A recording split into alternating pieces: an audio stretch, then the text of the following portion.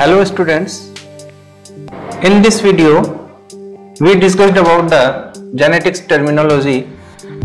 Genetics terminology जो है वो मेंडलिज्म को अंडरस्टैंड करने में हमारी हेल्प करता है तो इस वीडियो में हम जेनेटिक्स टर्मिनोलॉजी को पढ़ेंगे अगर हम बात करें फादर ऑफ़ जेनेटिक्स की तो देखिए ग्रेगोर जॉन मैंडल को हम फादर ऑफ़ जेनेटिक्स कहते हैं इन्होंने पी प्लांट के ऊपर अपने एक्सपेरिमेंट किए थे आप मेरे बारे में जान सकते हैं और मैं एक साइंस ग्रेजुएट हूँ।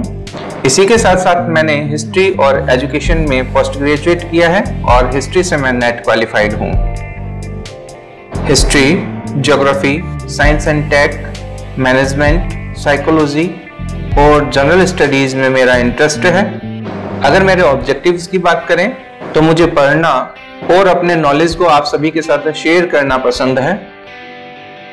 अगर आप नए व्यूअर हैं तो आप चैनल को सब्सक्राइब करें, वीडियो को लाइक करें, और हम जेनेटिक्स टर्मिनोलॉजी को स्टार्ट कर रहे हैं, इसलिए आप इस वीडियो को ज़्यादा से ज़्यादा अपने फ्रेंड्स के साथ शेयर करें। आप सोशल मीडिया हैंडल्स पर भी मुझे फॉलो कर सकते हैं। इस वीडियो में हम genetics heredity gene locus chromosome haploid diploid somatic cells gamete carcinogen DNA RNA allelomorph और allele homozygous heterozygous phenotype genotype dominant character recessive character monohybrid cross dihybrid cross trihybrid cross polyhybrid cross back cross test cross reciprocal cross parental generation F1 generation F2 generation monohybrid ratio और dihybrid ratio के बारे में पढ़ेंगे। So let's start हमारी जो first terminology है, वो genetics है। अब देखिए, सबसे पहले हम बात करते हैं जेनेटिक्स की। Genetics is a branch of biology concern with the study of genes genetic variation and heredity in organisms genetics यानी कि आनुवंशिकी जो कि बायोलॉजी की एक ब्रांच है, जिसमें हम जीन जेनेटिक वेरिएशन और किसी भी ऑर्गेनिज्म में पाए जाने वाले हेरिडिटरी कैरेक्टर्स के बारे में स्टडी करते हैं।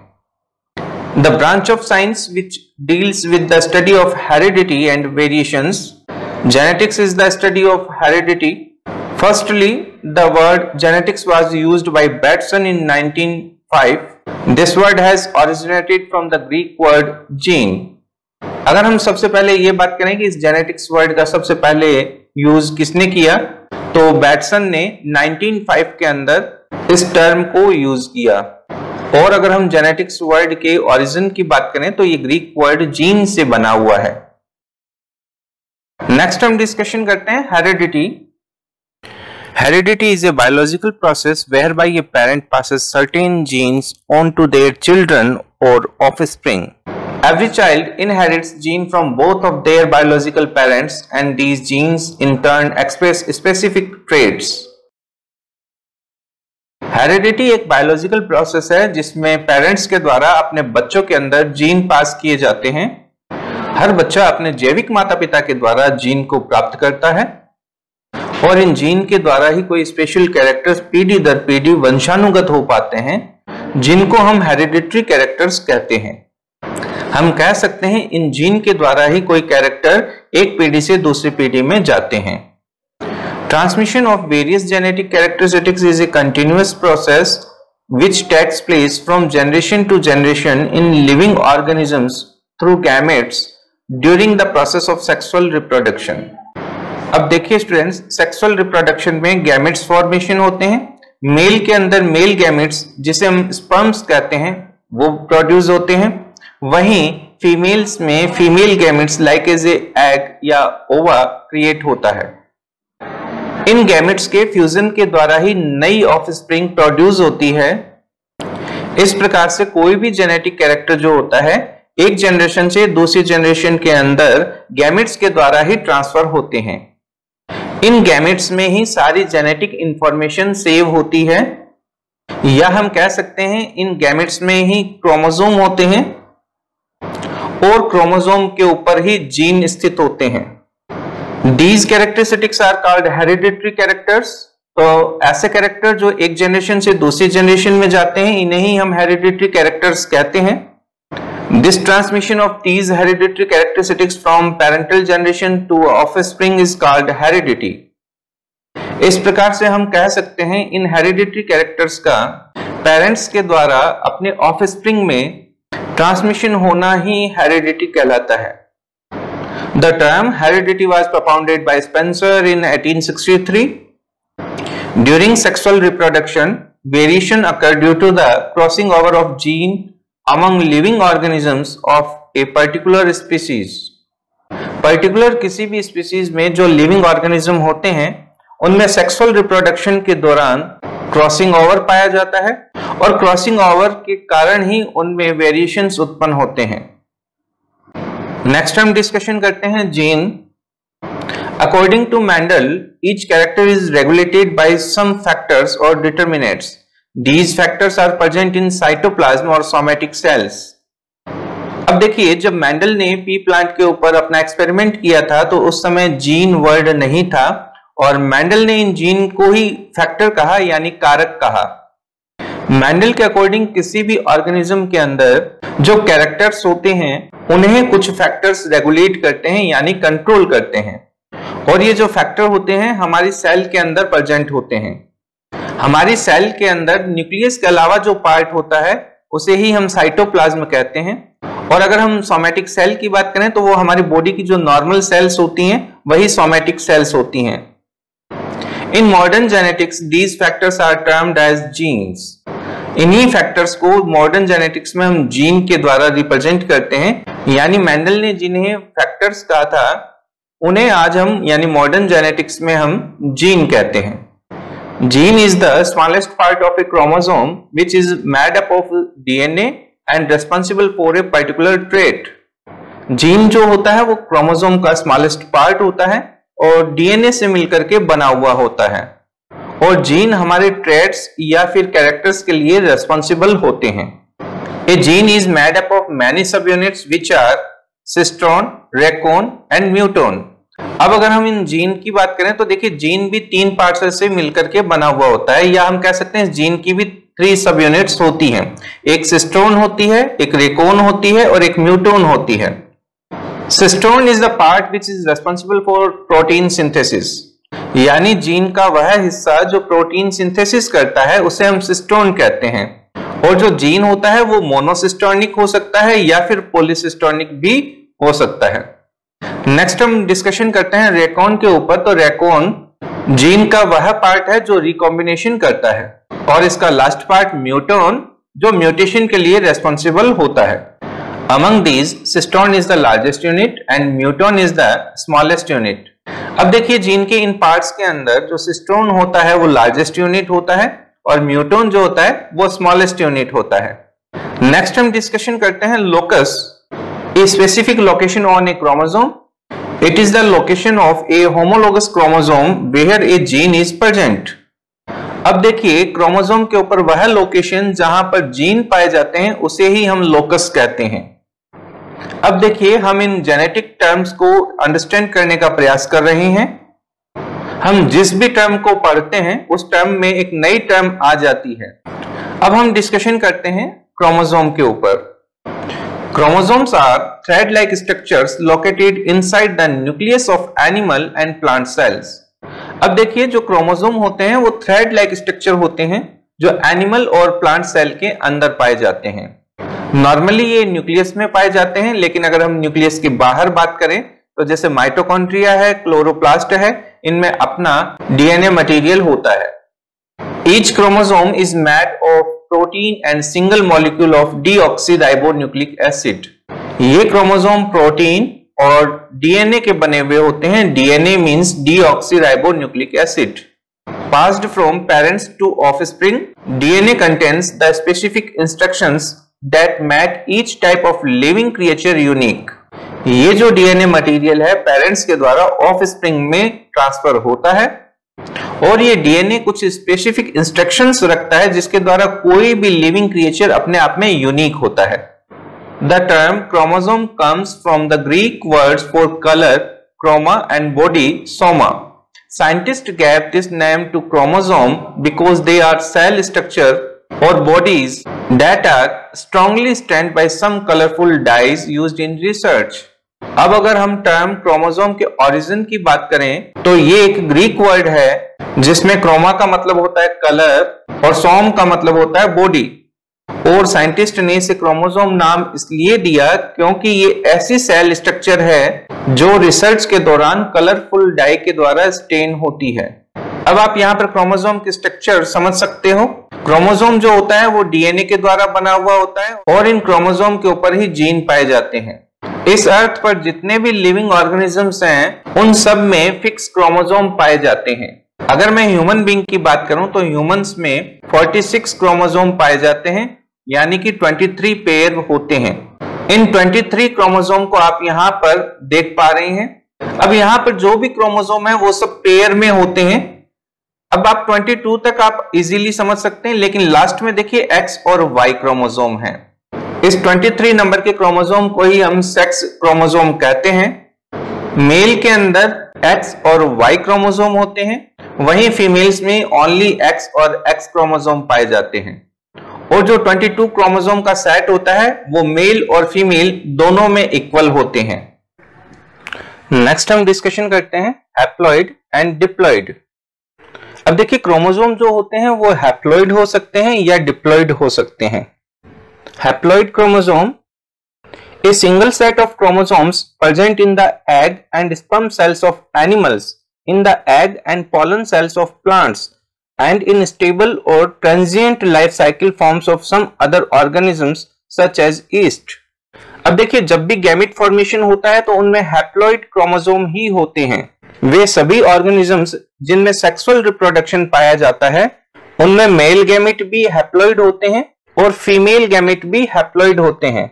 जब मेल गैमिट और फीमेल गैमिट का फ्यूजन होता है तो फ्यूजन के बाद में सबसे पहली जो सेल बनती है, वही डिप्लॉयड होती है। और उसी डिप्लॉयड सेल जिसे हम जायगोट कहते हैं, बारंबार सेल डिवीज़न के बाद में एम्ब्रियो का डेवलपमेंट होता है।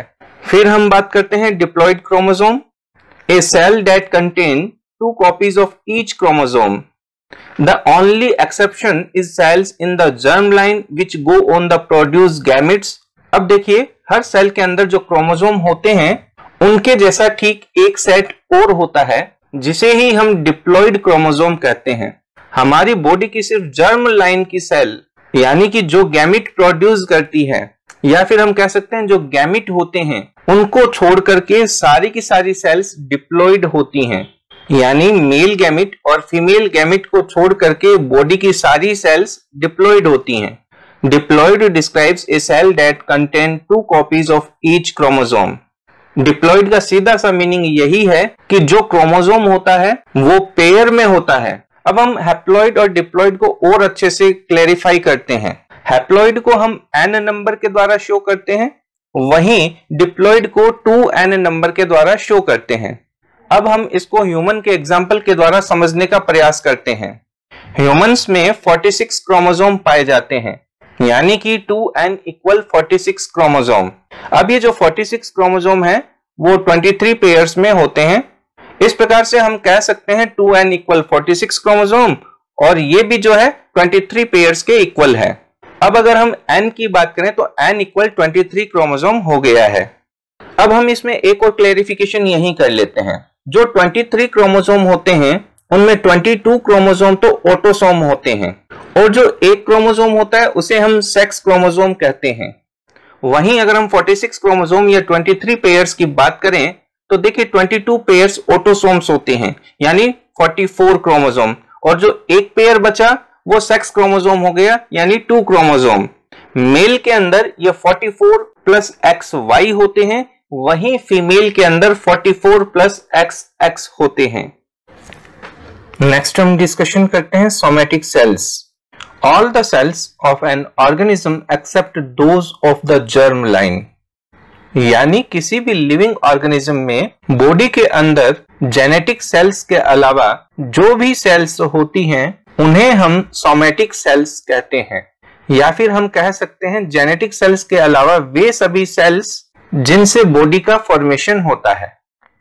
नेक्स्ट टर्म हम लेते हैं gamete male and female sex cells sperm and eggs यानी मेल और फीमेल में पाई जाने वाली सेक्स सेल्स को ही हम गैमिट कहते हैं। मेल गैमिट स्पर्म कहलाते हैं। वहीं फीमेल गैमिट एग कहलाते हैं। नेक्स्ट हम डिस्कशन करते हैं कार्सिनोजन फ़िज़िकल और chemical agent which induces cancer यानी ऐसे फ़िज़िकल और केमिकल एजेंट जो कैंसर को इंड्यूस करते हैं, उन एजेंट्स को ही हम कार्सिनोजन कहते हैं. नेक्स्ट हम डिस्कशन करते हैं DNA and RNA DNA means deoxyribo nucleic acid composed of nucleic acids these molecules encode the genes that allow genetic information to be passed to offspring next rna ribonucleic acid nucleic acids that are formed using dna as a template similar to dna except has ribose in place of deoxyribose and uracil in place of thymine अब देखिए students DNA और RNA nucleic acid होते हैं nucleic acid अनेक प्रकार के nucleotides से मिलकर बना हुआ होता है।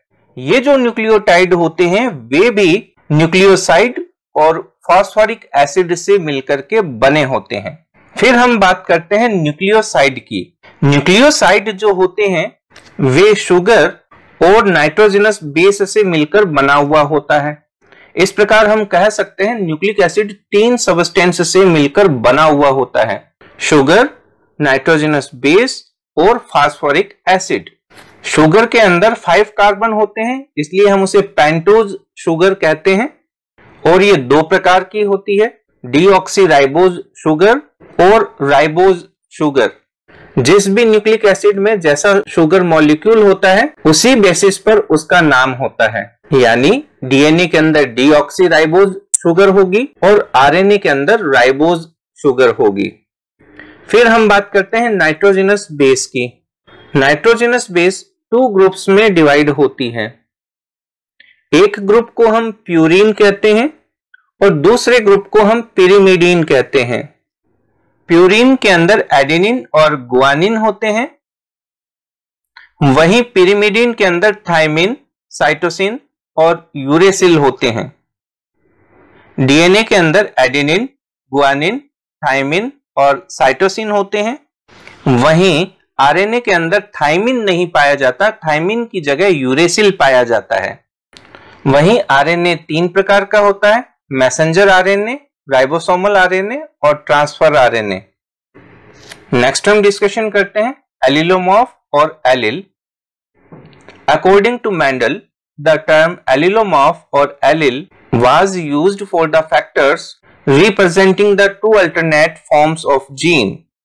For example, in TT condition, the gene capital T for tallness and small t for dwarfness are alleles for height in garden P. अब देखिए स्टूडेंट्स किसी एक कैरेक्टर को कंट्रोल करने के लिए या रेगुलेट करने के लिए दो अल्टरनेट जीन मौजूद हों तो हम उस जीन को एलिलोमॉफ और एलिल कहते हैं एलिलोमॉफ को अच्छे से अंडरस्टैंड करने के लिए हम गार्डन पी का एग्ज़ाम्पल लेते हैं। गार्डन पी में हाइट के कैरेक्टर की बात करें तो उसमें हाइट के दोनों अल्टरनेट मौजूद होते हैं। एक टॉल होता है और एक ड्राफ होता है। टॉल प्लांट के कैरेक्टर को रिप्रेजेंट करने के लिए हम कैपिटल टी को यूज़ करते हैं। वहीं ड्राफ्टनेस के कैरेक्टर को रिप्रेजेंट करने के लिए स्मॉल टी का यूज़ करते हैं। इस प्रकार से किसी भी कैरेक्टर के लिए अल्टरनेट प्रेजेंट होना एलिलोमॉफ और एलिल कहलाते हैं। नेक्स्ट हम डिस्कशन करते हैं होमोजाइगस और heterozygous homozygous an individual who contains identical alleles of a gene और factors of a character on his homologous chromosome is called homozygous for example capital T capital T allele pair is homozygous for height in pea plant capital T capital T और small T small T is another example किसी organism में किसी character को control करने वाले gene जिनको हम allele कहते हैं, अगर एक जैसे होते हैं तो हम उसे होमोजाइगस कहते हैं। अगर हम पी प्लांट में हाइट के एग्ज़ाम्पल को देखें तो हाइट के लिए पाए जाने वाले जो एलिल हैं, वो समान होते हैं। यानी हाइट का जो जीन पेयर होगा, उसे हम कैपिटल टी कैपिटल टी से रिप्रेजेंट करेंगे। या फिर हम उसे स्मॉल टी स्मॉल टी से प्रेजेंट करेंगे। नेक्स्ट हम डिस्कशन करते हैं heterozygous an individual who contains two contrasting factors of a character और two different alleles of a gene on his homologous chromosome is called heterozygous किसी organism में किसी character को कंट्रोल करने वाले जीन के जो दोनों एलिल होते हैं अगर वो अलग अलग प्रकार के होते हैं तो हम उन्हें हेट्रोजाइगस कहते हैं। इसको भी हम पी प्लांट में हाइट के कैरेक्टर से अंडरस्टैंड कर सकते हैं। अगर हम उसे कैपिटल टी और स्मॉल टी से रिप्रेजेंट करते हैं तो वो हेट्रोजाइगस है। अब देखिए होमोजाइगस में क्या था? दोनों एलिल समान थे। चाहे वो कैपिटल टी हो, चाहे वो स्मॉल टी हो। लेकिन हेट्रोजाइगस के अंदर एक कैपिटल टी है और एक स्मॉल टी है। यानी ये हेट्रोजाइगस है। नेक्स्ट हम डिस्कशन करते हैं phenotype external appearance and functional traits of a living organism produced due to the interaction of genes and environment is called phenotype जब किसी भी लिविंग ऑर्गेनिज्म में कोई भी कैरेक्टर एक्सटर्नल अपियरेंस से ही पता लग जाता है उसे ही हम फिनोटाइप कहते हैं। For example tall plants can be homozygous tall, capital T, capital T, or heterozygous tall, capital T, small t. Here, tallness is the phenotype. अब देखिए स्टूडेंट्स कोई भी प्लांट अपनी एक्सटर्नल अपियरेंस किस प्रकार की दे रहा है उसे ही हम फिनोटाइप कहते हैं अगर हम हाइट की बात करें तो प्लांट होमोजाइगस टॉल भी हो सकता है और हेट्रोजाइगस टॉल भी हो सकता है टॉलनेस जो है वो उसकी एक्सटर्नल अपियरेंस है इसलिए वो फिनोटिपिक कैरेक्टर है नेक्स्ट हम डिस्कशन करते हैं genotype genetic constitution of any living organism is called its genotype for example pure और homozygous tall capital T capital T और इम्प्योर और heterozygous tall capital T small T यानी किसी living organism में जब हम जेनेटिक कॉन्स्टिट्यूशन की बात करते हैं तो हम उसे जीनोटाइप कहते हैं। जब हम होमोजाइगस टॉल की बात करें तो हम कहेंगे ये जीनोटिपिक फॉर्मेट में प्योर है। और जब हम हेट्रोजाइगस टॉल की बात करते हैं तो हम कहेंगे जेनेटिक फॉर्म में ये इम्प्योर है। Dominant characters the allele which always express itself in F one generation is called dominant character यानी किसी प्लांट में पाए जाने वाले एलिल जो अपने आप को F1 जनरेशन में रिप्रेजेंट कर देते हैं, वही डोमिनेंट कैरेक्टर कहलाते हैं। नेक्स्ट है recessive characters the allele which fails to express itself in the presence of its contrasting dominant allele in F1 generation is called recessive character यानी ऐसा कैरेक्टर जो F1 जनरेशन में अपने आप को रिप्रेजेंट नहीं कर पाता है रेसेसिव कैरेक्टर कहलाता है। डोमिनेंट कैरेक्टर्स और रेसेसिव कैरेक्टर्स को हम यहाँ पर क्रॉसिंग के द्वारा समझने का प्रयास करते हैं। इस क्रॉस में हम टॉल कैरेक्टर के साथ इसको अंडरस्टैंड करेंगे। हम पेरेंट्स के रूप में होमोजाइगस टॉल और होमोजाइगस ड्राफ्ट प्लांट को लेते हैं। होमोजाइगस टॉल को हम कैपिटल टी से रिप्रेजेंट करते हैं, वहीं होमोजाइगस ड्वार्फ को स्मॉल टी से रिप्रेजेंट करते हैं। फिर इनमें गैमिट फॉर्मेशन की बात करते हैं।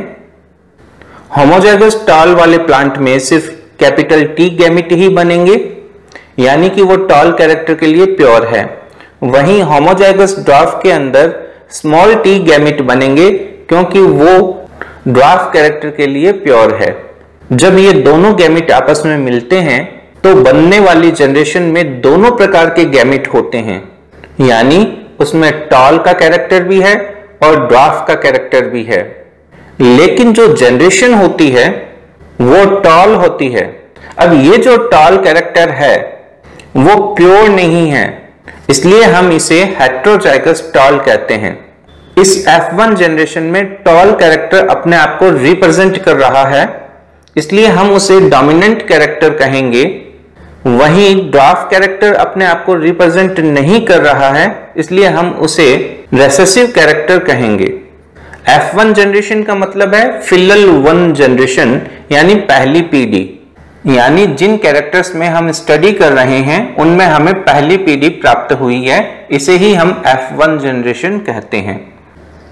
नेक्स्ट हम डिस्कशन करते हैं monohybrid cross it is a cross made to study the inheritance of a single pair of alleles और factors of a character and is called monohybrid cross यानी ऐसा हाइब्रिड क्रॉस जिसमें हम एक ही कैरेक्टर के इनहेरिटेंस की स्टडी करते हैं, उसे ही हम मोनोहाइब्रिड क्रॉस कहते हैं। अब देखिए यहाँ पर मोनोहाइब्रिड क्रॉस को समझने के लिए हम सिर्फ़ हाइट के कैरेक्टर को, यानी एक सिंगल कैरेक्टर को लेते हैं। एक प्लांट होमोजाइगस टॉल है, वहीं दूसरा होमोजाइगस ड्राफ है। जब इनमें क्रॉस होता है और जो जनरेशन हमें मिलती है, वह सिर्फ़ टॉल होती है, लेकिन यह हेट्रोजाइगस टॉल होती है।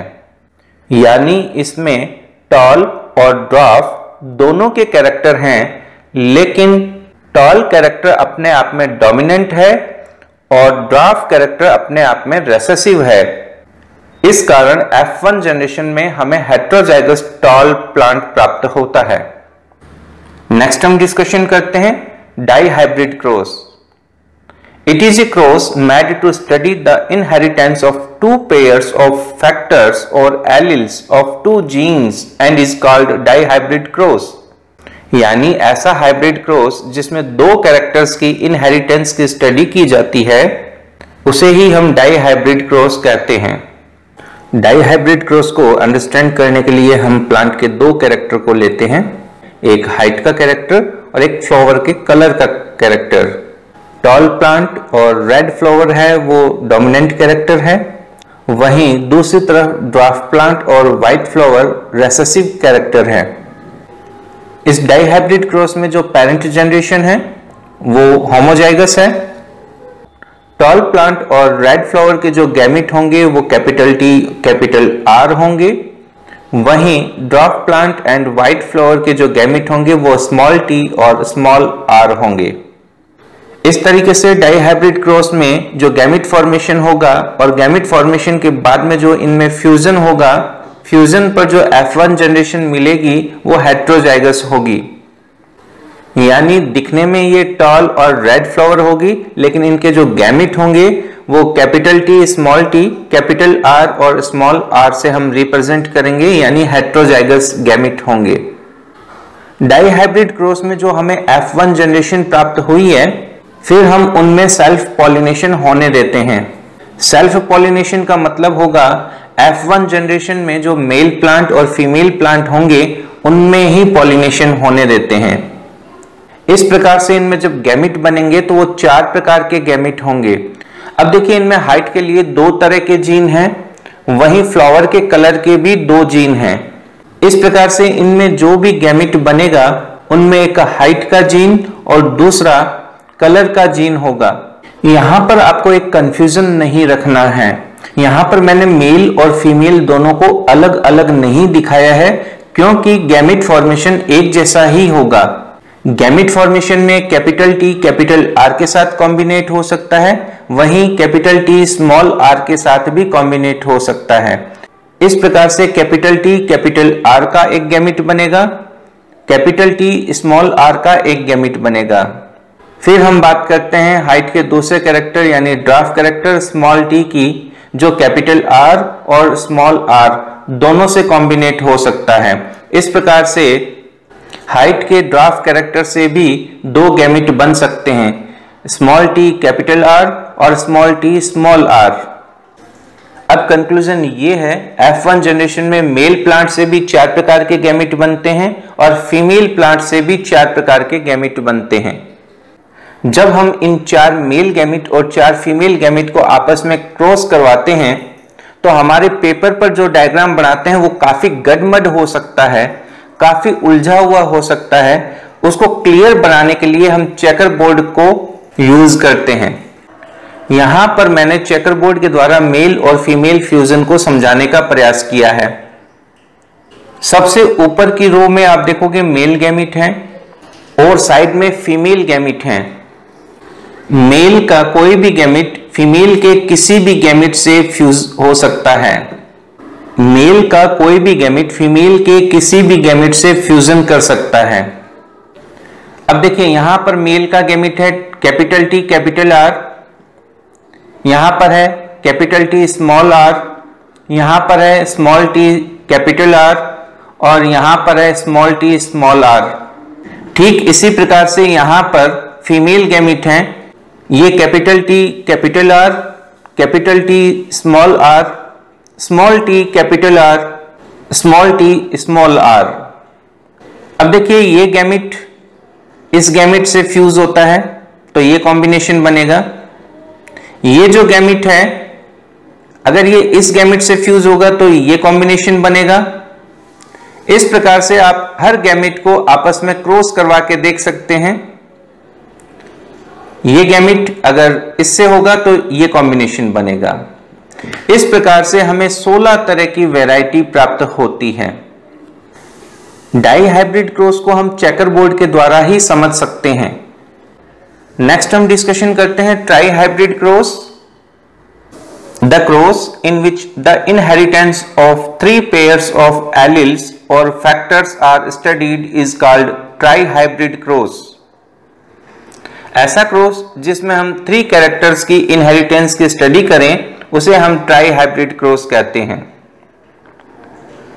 नेक्स्ट है polyhybrid cross the cross in which the inheritance of various pairs of alleles or factors are studied is called polyhybrid cross ऐसा क्रॉस जिसमें हम बहुत सारे कैरेक्टर्स की इनहेरिटेंस की स्टडी करते हो, उसे हम पॉलीहाइब्रिड क्रॉस कहते हैं। नेक्स्ट हम डिस्कशन करते हैं back cross the cross in which the F1 generation is crossed with one of its parents is called back cross ऐसा क्रॉस जिसमें F1 जनरेशन का क्रॉस उसके किसी भी पेरेंट्स से करवाया जाए, उसे बैक क्रॉस कहते हैं। बैक यानी पीछे जाना। यहाँ पर होमोजाइगस टॉल प्लांट है। यहाँ पर होमोजाइगस ड्राफ्ट प्लांट है।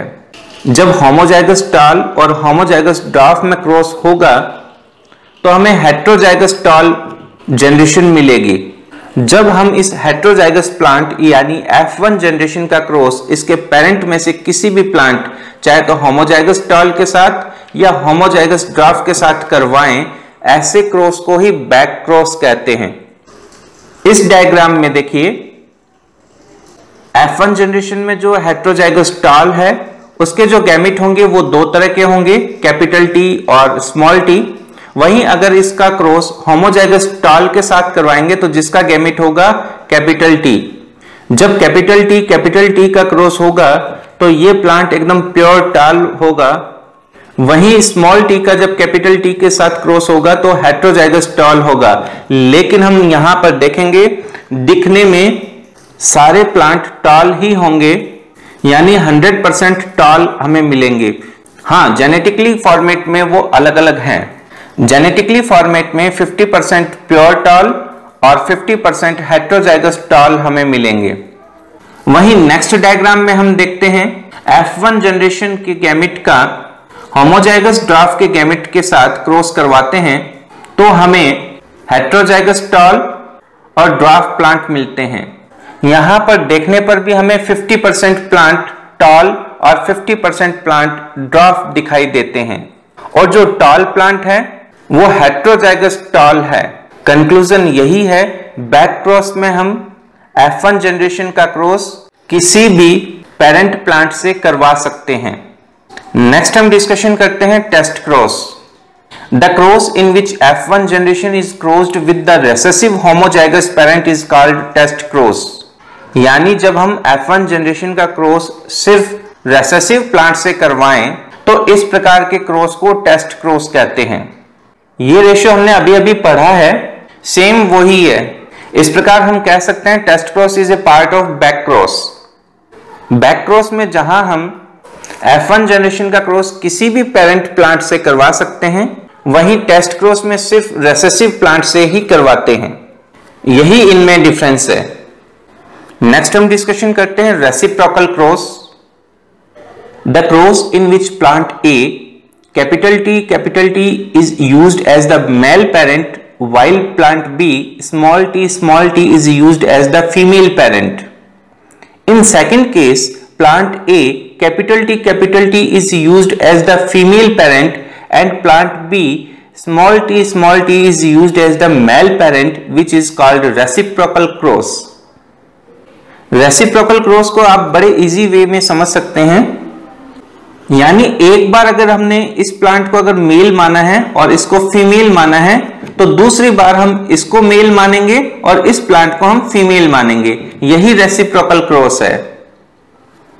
नेक्स्ट हम डिस्कशन करते हैं parental generation the plant which are crossed to get new hybrid offspring are called parental generation यानी ऑफ़ स्प्रिंग प्राप्त करने के लिए जिन प्लांट्स में हम क्रॉस करवाते हैं, वे प्लांट्स ही पेरेंटल जनरेशन कहलाते हैं।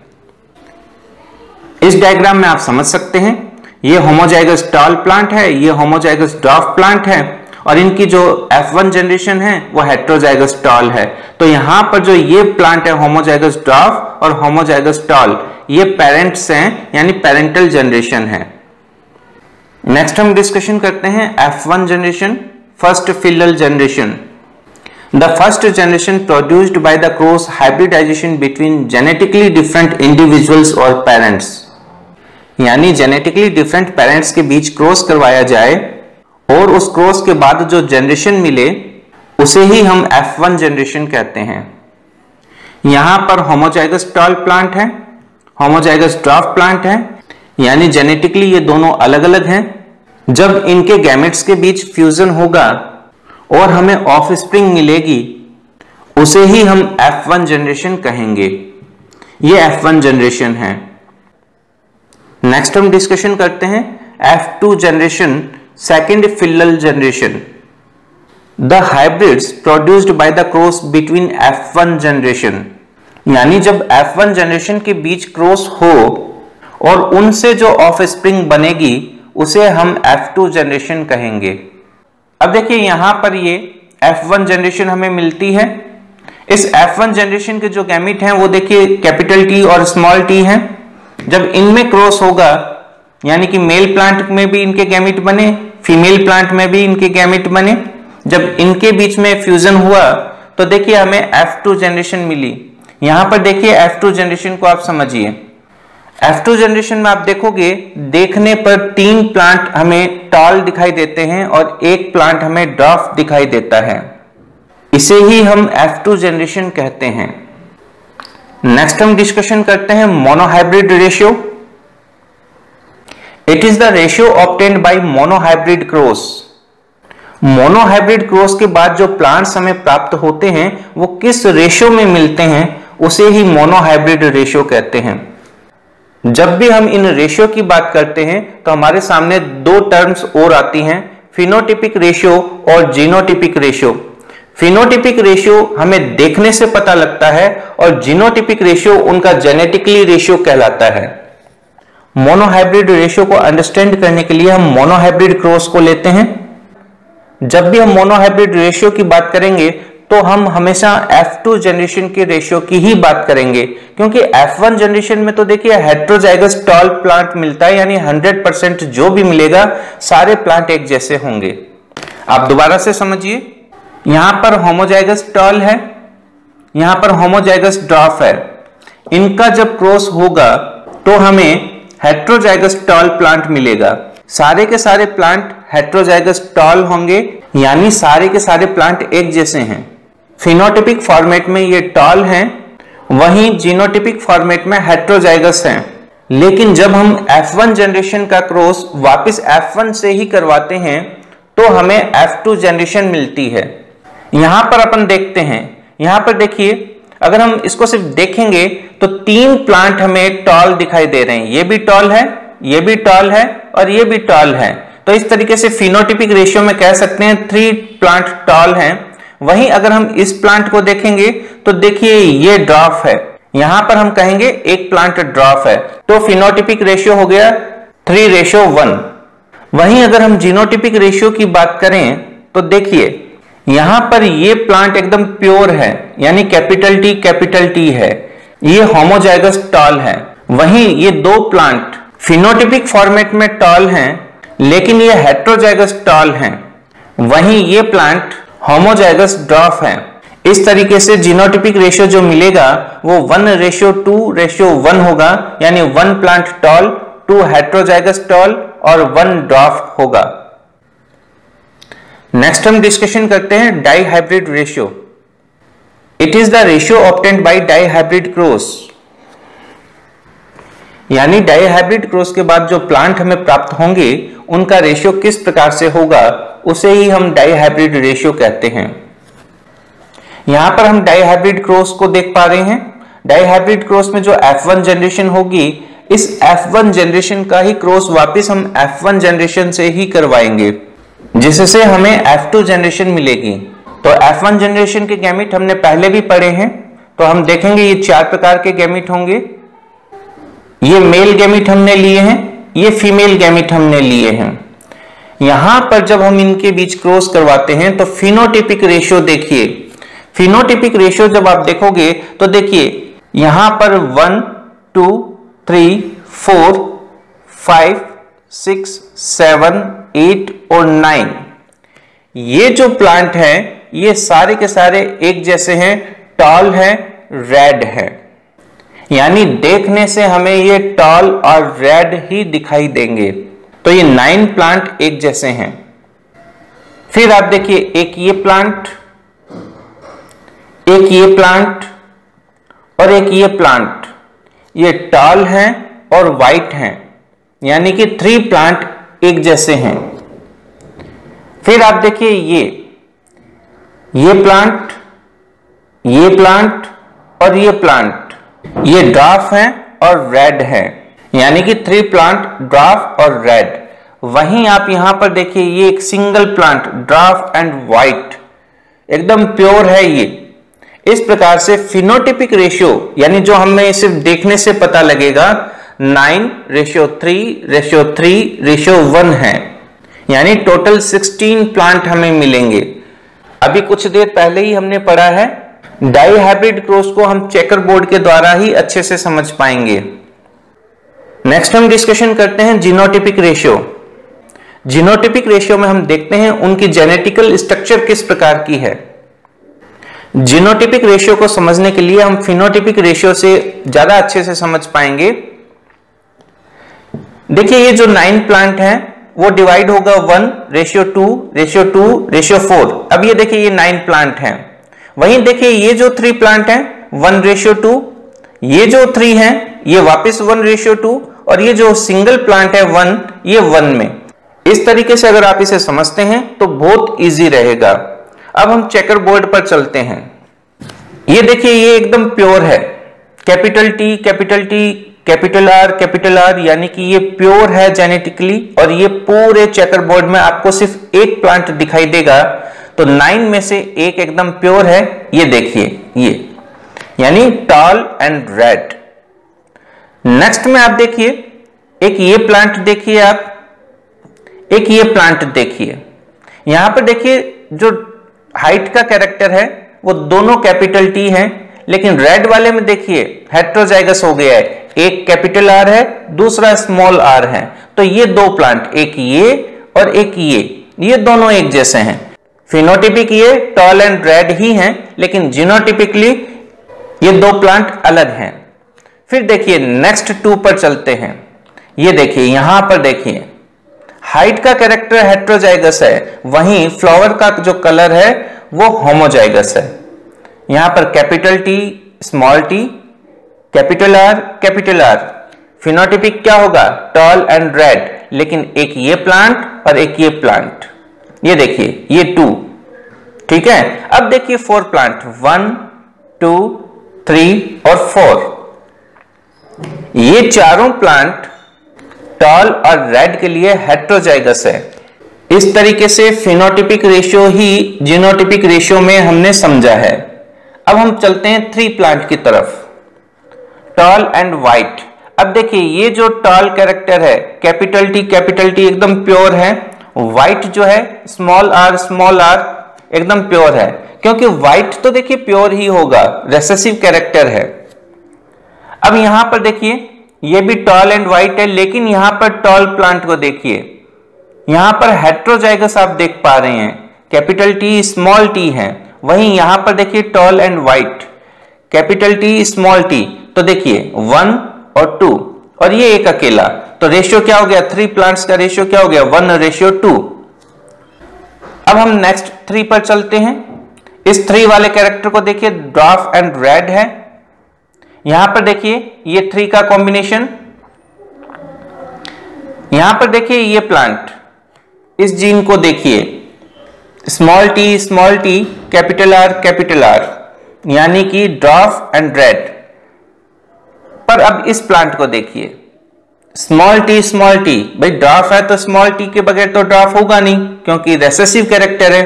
वहीं रेड में कैपिटल आर और स्मॉल आर यानी यहाँ पर यह हेट्रोजाइगस हो गया है। लेकिन रेड डोमिनेंट है, इसलिए ये रेड ही होगा। जेनेटिकली अलग है। तो ये टू प्लांट्स एक ये और एक ये। तो इस तरीके से ये जो थ्री प्लांट हैं, वो इन वन रेशियो टू में डिवाइड हो गए हैं। फिर हम बात करते हैं ड्रॉफ एंड वाइट देखिए dwarf and white recessive character है। होमोजाइगस ही होगा। इसलिए ये पूरा एक ही प्लांट है। इस तरीके से हमने फिनोटिपिक रेशियो और जीनोटिपिक रेशियो को अंडरस्टैंड किया। Phenotypic ratio nine ratio three ratio three ratio one है।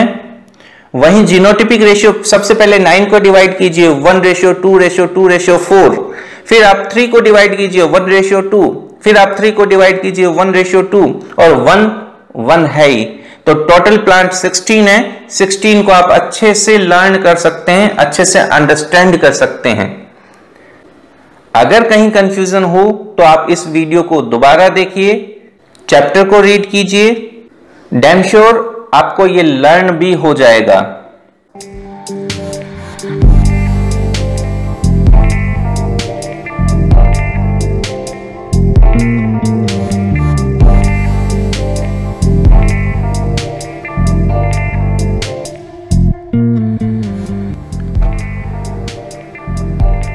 इस प्रकार हमने जेनेटिक्स टर्मिनोलॉजी को कंप्लीट कर लिया है। अगर आपने चैनल को सब्सक्राइब नहीं किया है तो आप चैनल को सब्सक्राइब कीजिए बेल आइकन को प्रेस कीजिए, ताकि आने वाले वीडियोस की नोटिफिकेशन आपको मिल सके। वीडियो को लाइक करें और देखिए, जब आप वीडियो को लाइक करते हैं तो मुझे अच्छा लगता है। और वीडियो को अपने फ्रेंड्स के साथ ज़रूर शेयर करें।